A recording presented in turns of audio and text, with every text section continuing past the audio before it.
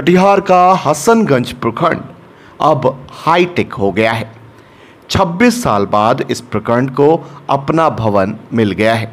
बिहार के deputy CM Tarkishore Prasad और ग्रामीण विकास मंत्री श्रवण कुमार ने ब्लॉक और अंचल ऑफ़िस के साथ साथ आवासीय भवन का अनावरण किया है। गौरतलब है कि 30 सितंबर उन्नीस सौ चौरानवे को हसनगंज को ब्लॉक का दर्जा मिला था। तब से ये ब्लॉक सामुदायिक भवन में चल रहा था।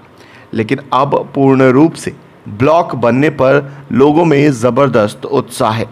प्रखंड का उद्घाटन हुआ है, लोकार्पण हुआ है और यह प्रखंड माननीय उप मुख्यमंत्री श्री तारकिशोर प्रसाद जी के विधानसभा निर्वाचन क्षेत्र के अंतर्गत पड़ता है।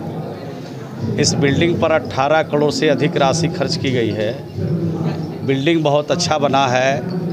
इसमें फर्नीचर भी लगाए गए हैं। पूरी सुविधा से लैस किया गया है और हमारे कर्मचारी अब ठीक से यहाँ पर काम करेंगे। उनको हर प्रकार की सुविधा भी है और जो इस इलाके की जनता है, जो प्रखंड और अंचल से जुड़े हुए जो भी काम होंगे, उसको बहुत ही आसानी से, बहुत सहज तरीके से उसका निष्पादन भी किया जाएगा। और इस तरह का बिल्डिंग राज में 178 बन रहे हैं।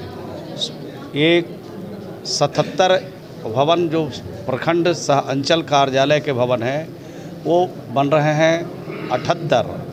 और 101 भवन बन रहे हैं सूचना प्रौद्योगिक भवन बन रहे हैं। दोनों का मकसद एक ही है। पंचायत स्तर पर होना है। और इसके लिए माननीय मुख्यमंत्री जी के नेतृत्व में और हमारे ग्रामीण विकास मंत्री सम्मान्य श्री सरवन कुमार जी ग्रामीण विकास को विशेष तौर पर देखते हैं और हमारे साथ आज इस उद्घाटन समारोह में मौजूद भी हैं।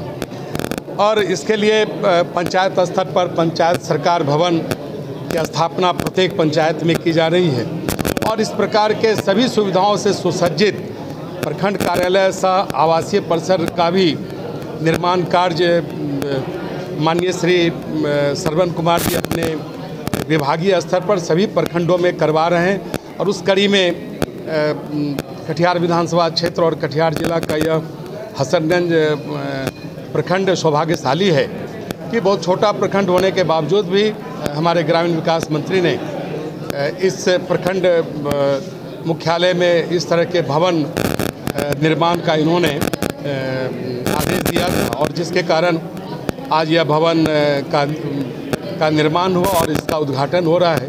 मैं श्री सरवन कुमार जी को विशेष रूप से बधाई देते हैं। कई तकनीकी बाधाएँ आए थी और उन बाधाओं को दूर करते हुए इस प्रखंड भवन का निर्माण हुआ है, जहाँ ग्रामीण जो हमारी व्यवस्था